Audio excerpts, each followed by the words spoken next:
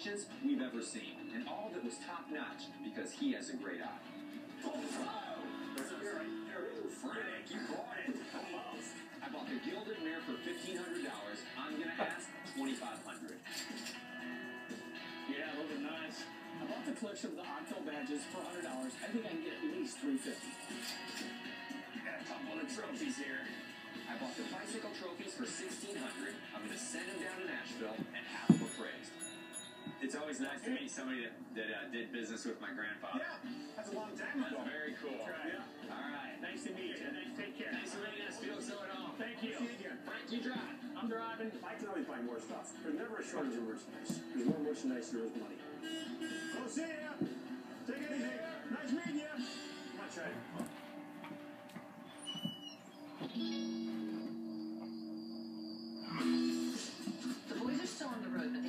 But they sent these bicycle trophies for us to have appraised. Lauren, Chickadee, this is Deborah.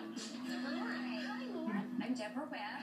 I appraise antiques, toys, silver, anything with a past is my passion.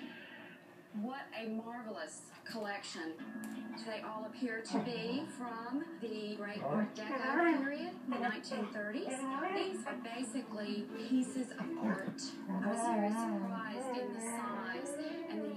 of the detail and the orientation that each of the trophies had. The loving cup is amazing. What is a loving cup? Loving cups were the trophies that were double handled. Most often, the top would come out as a cup. When the presenter presented these trophies, they would hand it to the person and put his hands on the trophy and hold it to his chest in a loving manner.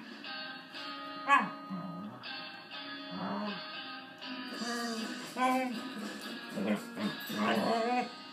would not uh, break this setup. All these pieces should stay together. They're from the same era. There is a downside to these. Now, I have noticed on some of these trophies there are some issues. On this one in particular, the stem is bent. This one had been resoldered, and this one is completely off the base.